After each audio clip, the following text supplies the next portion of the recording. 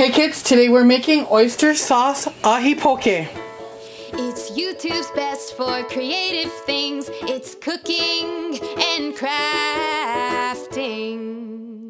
We are going to be making some ahi poke oyster sauce. This is Scott's favorite. This is about a half of a pound of ahi that has been chopped or cut into you know into little squares. That's what poke is. That's the way it is. It's chopped up. Okay plain. You can pass over. I don't have issues with that. Anyway we're gonna go ahead and we're gonna season this a little bit with Hawaiian salt. Oh yeah I know you're saying oh that's not a little bit. It's a little bit. It's not that um you know crazy salty Alright, and then we are going to move on to all the different um, flavors. So first I have a tablespoon of sesame oil.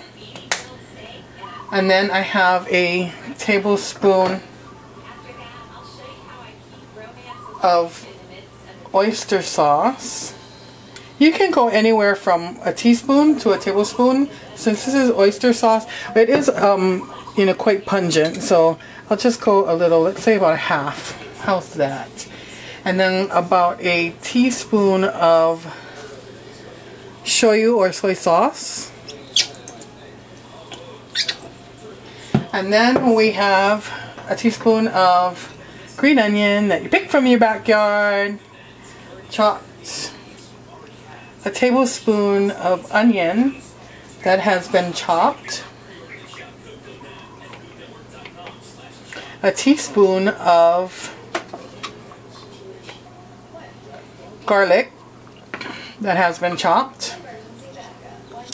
And you can, um, it, it's optional, of course, to add in chili flakes. I didn't have any, so I went and I got some of our Hawaiian chili pepper. And this should probably be more than adequate. One should be way more than enough for this recipe. Make sure you wash your hands really well after you have touched them because chili peppers are really, really high up on that um, that funky, you know, chili scale that they have.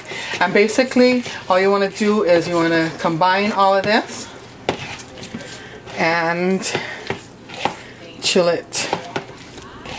And it should be served immediately or very quickly after you've, you know, you've mixed this up. So there you go. Ahi poke oyster sauce. Enjoy.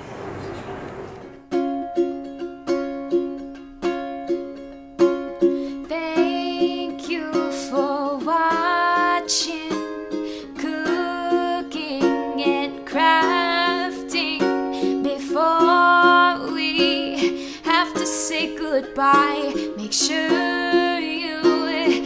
comment and subscribe, and it would be so.